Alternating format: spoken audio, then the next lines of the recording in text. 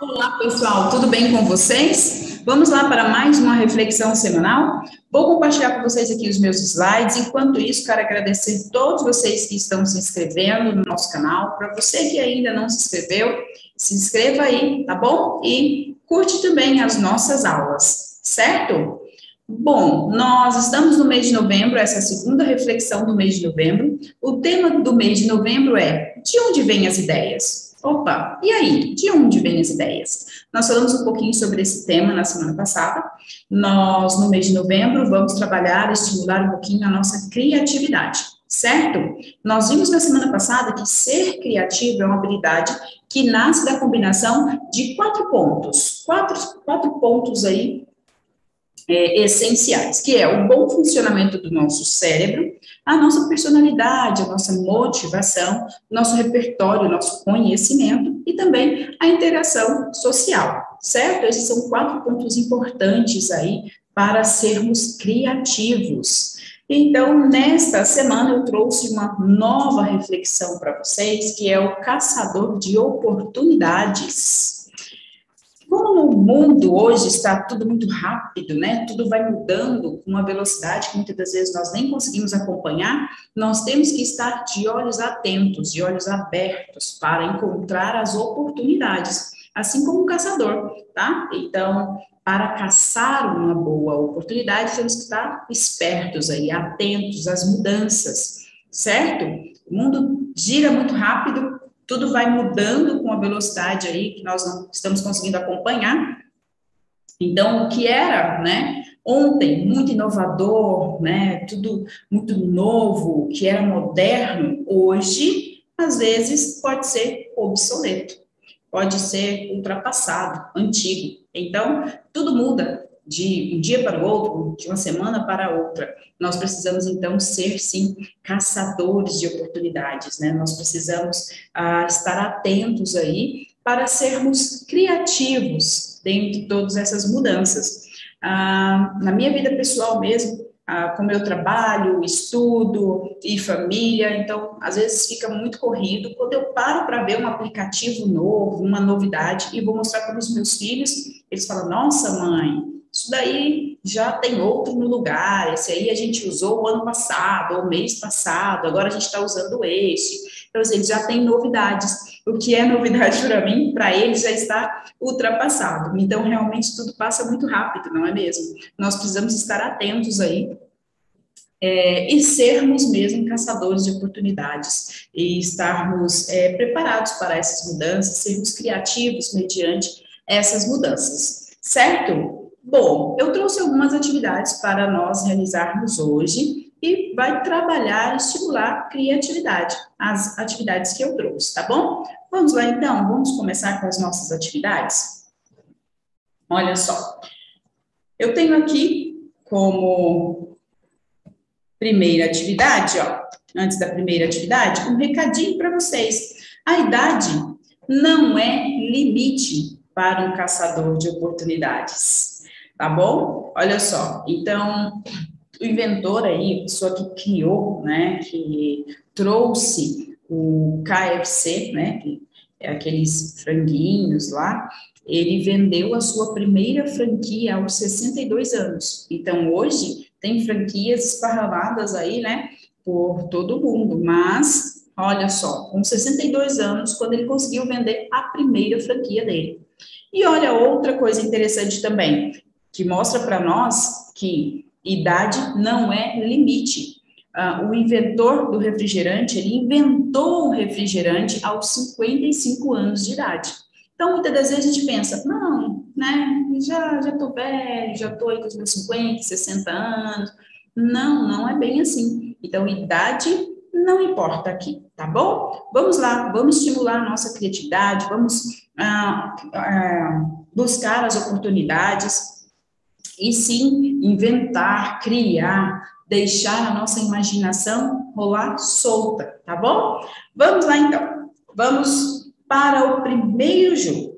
Eu tenho aqui para vocês o Dixit. A habilidade estimulada é a criatividade, raciocínio lógico também. Como que vai funcionar então? Tá? O objetivo do jogo, o objetivo, a tarefa de vocês será descobrir qual é a carta escolhida pelo narrador. Então, olha só. Eu vou colocar quatro cartas na tela. Vou dizer uma frase. E baseado nessa frase, vocês vão ter que selecionar de 1 a 4 aí qual é a carta da qual eu escolhi. Então, esta frase que eu falei está representando qual carta? Entendeu a tarefa de vocês? Eu vou dizer uma frase e vocês vão ter que responder aí. A carta 1, 2, 3 ou 4. Qual é a carta na qual a frase está referindo? Certo? Vamos lá então. Vamos jogar, vamos fazer a primeira rodada. Nós vamos fazer três rodadas apenas, tá bom? A primeira rodada, ó, eu tenho carta 1, 2, 3 e 4. Tarefa de vocês será, após escutar a frase, dizer, opa, a carta 2 é a carta 3. Qual é a carta que a frase está se referindo, certo? Vamos lá, então. Vamos para a primeira carta, a primeira frase. A primeira frase é: Salve os planetas, me salvando. Salve os planetas, me salvando. Opa. De qual carta eu estou falando?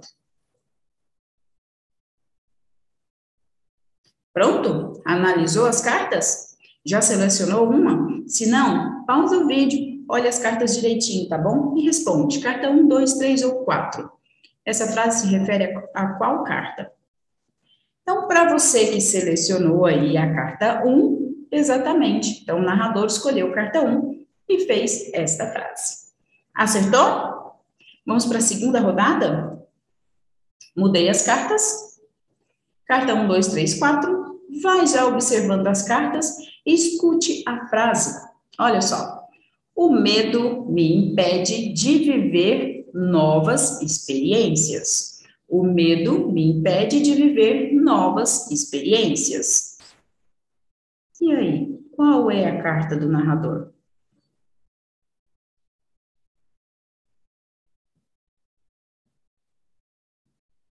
Já encontrou? Sabe qual é a carta? Quer analisar mais? Pausa o vídeo. Vamos conferir então? Para você que respondeu que a, a quarta carta você acertou. Muito bem, terceira rodada. Novas cartas.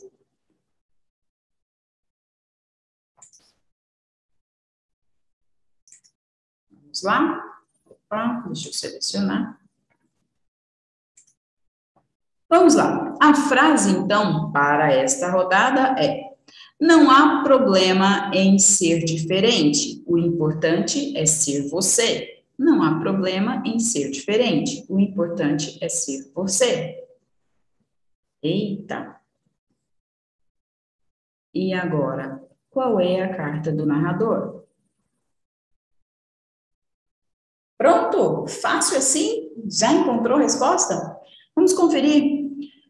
Para você que disse que a carta do narrador é a carta 4. Você acertou. Muito bem. Para esse jogo, você precisou ser criativo, usar a imaginação, relacionar, né? Opa, a frase com a carta, separar o que realmente tem a ver com a frase, observar todas as cartas. As cartas têm, algumas têm umas figuras diferentes, né? Então você precisa mesmo utilizar a imaginação e estimula muito a criatividade. Ok? Gostou dessas rodadas? Muito bem, eu tenho mais atividades. Agora nós vamos para o abaco. Vai ser criativo também, tá? Como que o abaco vai funcionar? Nós vamos precisar do abaco, porque nós vamos fazer um ditado, mas nós vamos precisar também das peças do Tangram.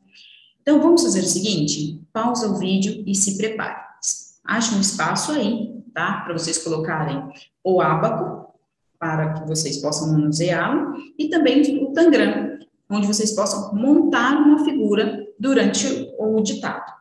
Certo? Então, pausa o vídeo e se prepara. E volta aqui para a gente continuar com a atividade. Precisamos do ábaco, um lugar para você anotar o resultado e um lugar para você colocar as peças do tangram e montar uma figura durante o ditado.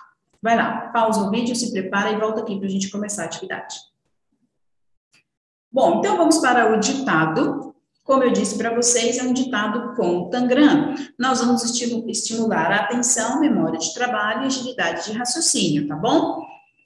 Eu vou fazer o seguinte, eu vou ditar sete contas.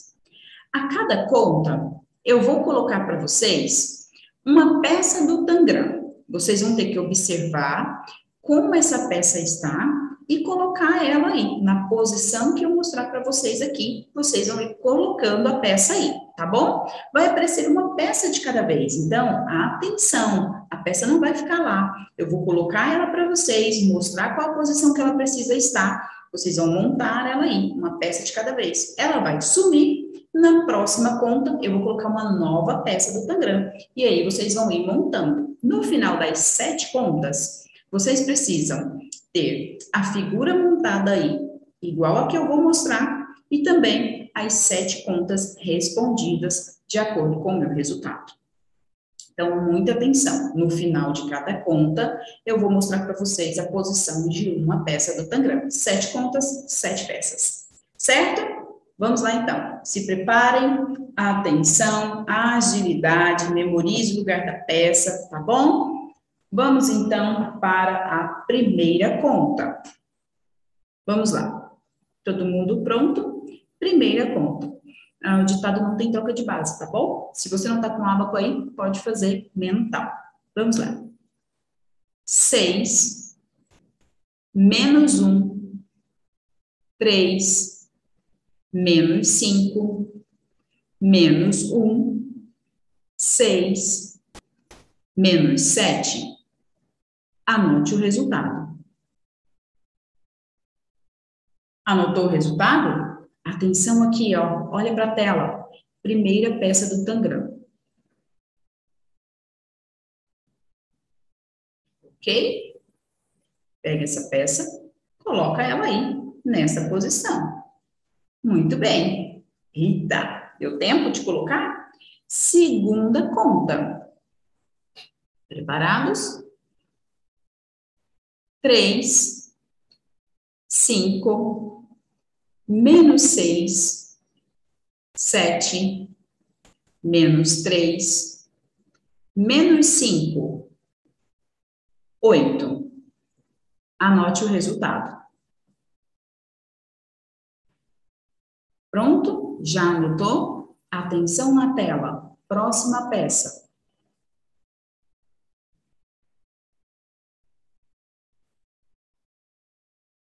Pronto? Opa, subiu, hein?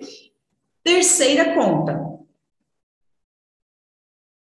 Seis menos cinco, dois, cinco, menos três, quatro, menos sete. Anote o resultado. Ok, já anotou? Terceira peça.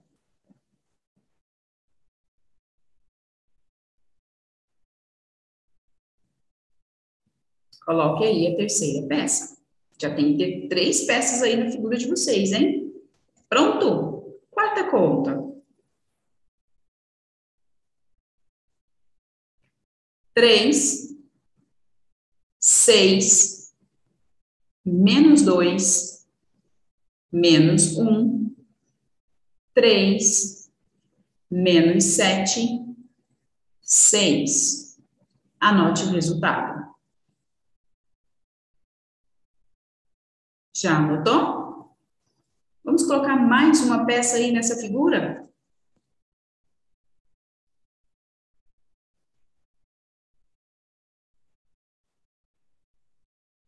Pronto? Vamos então para a quinta conta? Vamos lá. Oito menos 5, menos 2, 6, 2, menos 7, 1. Anote o resultado. Pronto? Mais uma peça.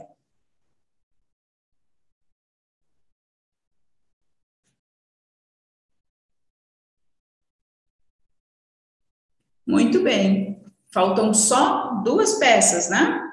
Para finalizarmos a figura. Espero que saia igual a minha, hein? Vamos para a próxima. Próxima conta. Cinco, dois, menos um, três, menos quatro, menos cinco, sete anote o resultado. Anotou? Mais uma peça.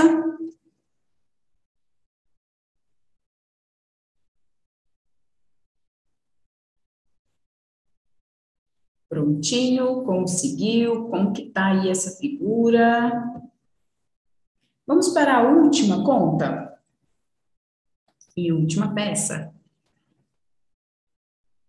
2 menos 1, 7, menos 6, 7, menos 3, menos 5.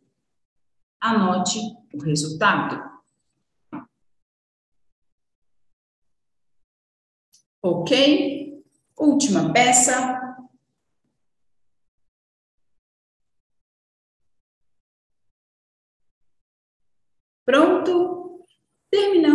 sete contas, terminamos as sete peças. Eu quero saber, tem uma figura montada aí? Como que ficou essa figura, hein? Vou colocar a minha figura aqui, todas as peças. Olha, assim era pra, é para estar a sua figura. Está ok? Você conseguiu montar esta figura? Olhe para a figura, usando toda a imaginação de vocês. O que, que essa figura está representando? Bom, Tangram é assim: você olha para a figura e você imagina o que a figura está representando. O que é para você, muitas das vezes não é para o outro, tá? criatividade imaginação é bem individual. Mas espero que vocês tenham conseguido montar esta figura aí a cada peça que foi aparecendo. Espero que vocês tenham conseguido memorizar o lugar, colocar no lugar certinho. Ok? Deu certo? Bom, vamos para o próximo passo então, que é conferir as sete contas. Olha aqui, esses são os resultados. Confere aí se você acertou as sete contas também, o resultado das sete contas. Excelente, muito bem. Eu tenho mais atividades para vocês. Podem guardar o Tangram, podem guardar o ábaco, coloca do ladinho aí e vamos lá, vamos continuar. Você vai precisar agora de papel e lápis ou caneta. Nós vamos trabalhar memória. A estratégia de memorização deste mês é a associação verbal e visual. Que estratégia é essa, Giovânia? Olha só, essa estratégia de memorização, uh, ela consiste nas seguintes etapas analisar as informações a serem memorizadas. Então, vocês vão analisar todas as informações. Depois, vocês vão associar as a, a imagens, tá? As palavras. Exemplo, eu vou colocar algumas palavras, vocês vão ler cada uma das palavras. Então, quando você lê a primeira palavra, você vai associar essa palavra a uma imagem, a, a um acontecimento, a um fato que aconteceu com você tá bom? Então, ó, se eu colocar lá café, palavra for café, você vai relacionar o café, a imagem do cafezinho no copo, ou do cafezinho sendo é, preparado, ou um fato de que você toma café com as amigas, ou um fato de que você gosta muito de café, ou alguém que goste muito, ao cheiro do café. Então, você associa a palavra a alguma imagem, a algum fato, a algum acontecimento Tá bom? Essa é a estratégia. Porque depois, quando você lembra do fato, você lembra da palavra que você memorizou. O, que, que era mesmo aquela palavra? Hum, eu lembro que tinha alguma coisa que eu reunia com as amigas. Ah, para tomar café, a palavra era café. Certo? Para que você consiga, então, buscar aí na memória quando você relaciona aquilo que você quer memorizar. É essa a estratégia. Eu vou colocar uma listagem de palavras aqui vocês vão ler uma de cada vez e vai associando cada palavra a uma imagem ou a um fato, ok?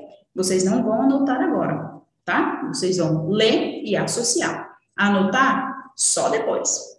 Vamos lá então. Trabalhando memória.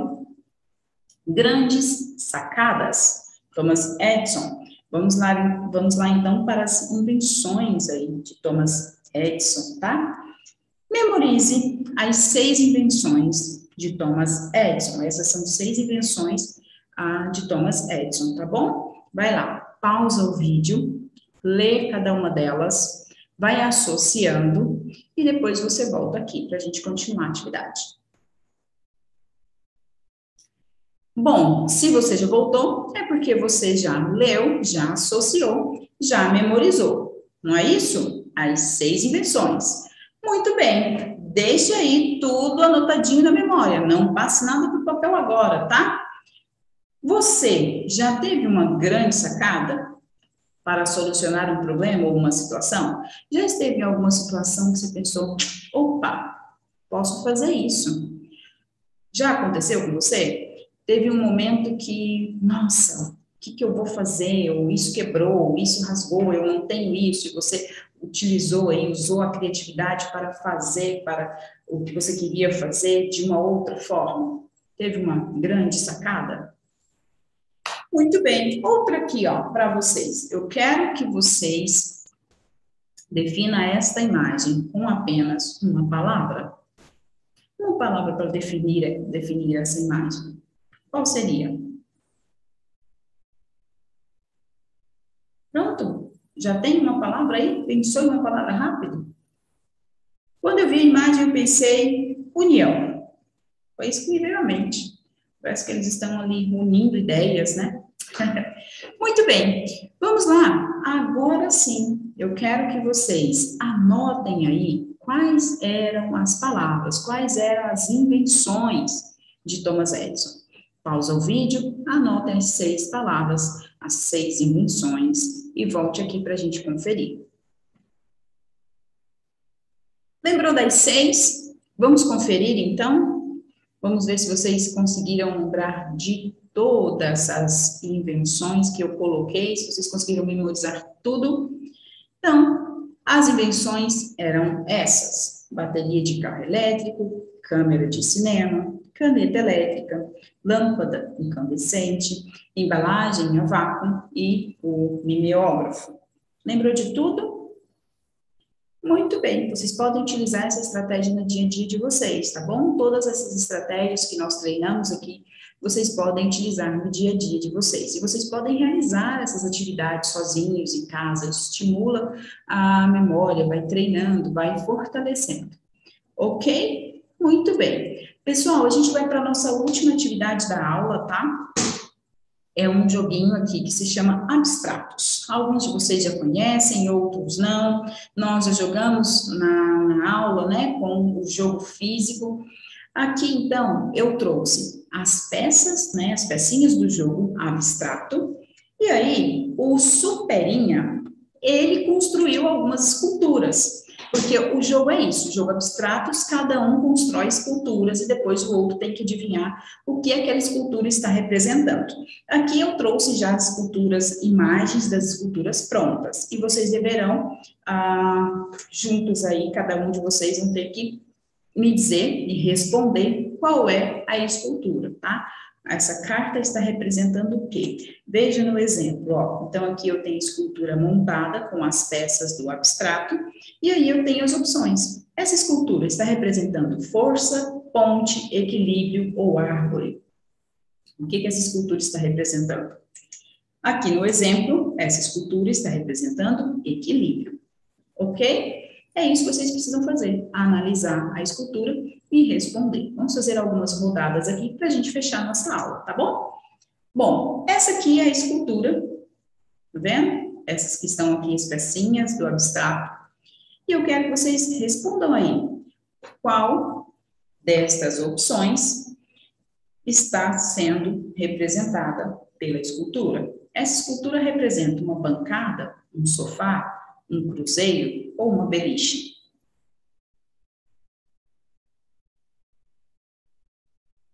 Isso aí, é uma beliche. A escultura está representando uma beliche. Ó, tem um carinha deitado aqui e uma carinha deitada aqui em cima, gente. Próximo. Opa, aqui está a escultura com as peças do abstrato. Essa escultura está representando uma floresta, um telhado, um guarda-chuva ou uma feira.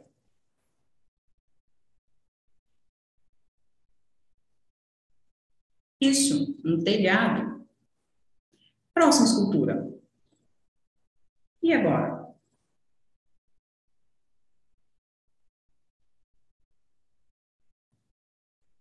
Já respondeu? Para quem respondeu disco voador, está correto.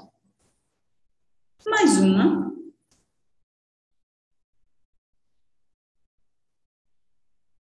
Musculação, gangorra, balanço, estante.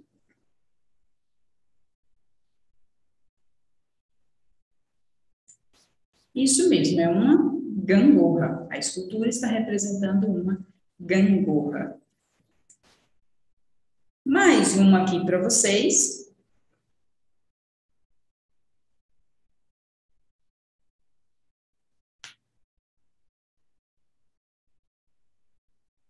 Pronto? Bom, aqui está representando o trânsito. Usem imaginação, pessoal. Olha aqui, ó. A divisão da via e os carros um atrás do outro aí em um trânsito, tá tudo congestionado aí. Muito bem. Mais essa.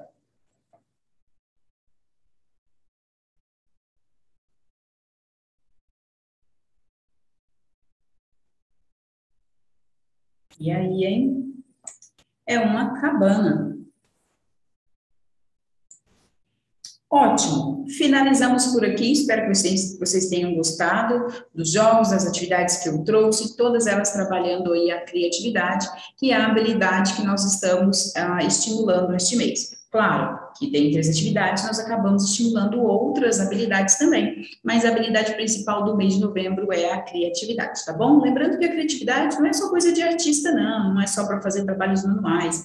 A criatividade, como eu já tem, tinha dito anteriormente, a criatividade ah, nos auxilia para resolver pequenos problemas aí do nosso dia a dia, certo? Muito bem. Então, como tarefinha de casa, vocês têm aí o jogo do Super Online desta semana, é Alfabetos Antigos. Acessem o Super Online, joguem no mínimo 30 minutos por semana, tá? Vocês podem conhecer outros jogos, mas vocês precisam acessar e jogar no mínimo 30 minutos Alfabetos Antigos, que é um jogo que vai estimular a atenção.